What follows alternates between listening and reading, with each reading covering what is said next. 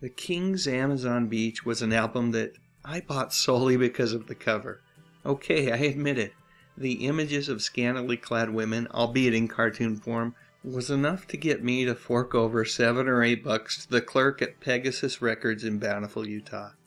To be fair, I had heard of the Kings. I was aware of their work. A couple of years earlier, they had a big hit with the two in one song, This Beat Goes On and Switchin' to Glide but I wasn't as big of a fan of those songs as I am now. Heck, I was 16 years old, and as I've already confessed, it was that darn cover that reeled me in.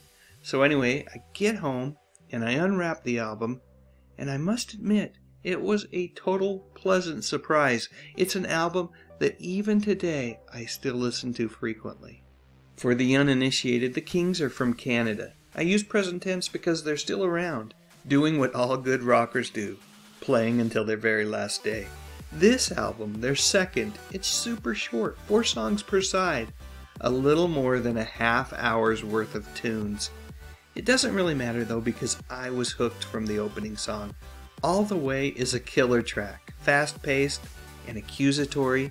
A jilted boyfriend comes home from touring with his band only to discover his faith and trust had been compromised. The next two tracks, Amazon Beach and The Fools Are in Love, well, they sealed the deal. I will forever be a fan of the Kings.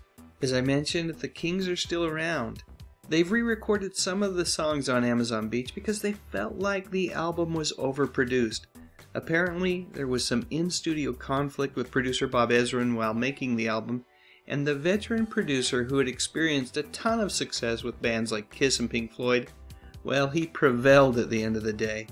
I've heard the re recorded versions, and I've got to say, maybe Bob was right. I prefer the songs on the original album, Amazon Beach. But you know, the beautiful thing about music is that it's so darn subjective. Music connects each one of us with specific memories and feelings that lend power to songs and more broadly to various genres of music. Yep, music can be a pretty darn nostalgic thing at least for an old timer like me. Sometimes I even drive by the building where Pegasus Music used to be. The demise of the record store is a true American tragedy. Oh well, at least Pace's Drive-In is around. For those of you who live in Bountiful, you know why this is such a good thing. Mm-hmm. Right now, I could sure use a peach rainbow and some onion rings. Alright, now it's your turn. Please share your memories in the comments section, and while you're at it, if you enjoyed this video, I would appreciate a thumbs up, and I would be absolutely, positively thrilled if you considered subscribing to the channel. I talk about music from the 50s, 60s, 70s, and 80s. You know, the good stuff. But most importantly, and as always, thank you so much for taking the time to watch this video.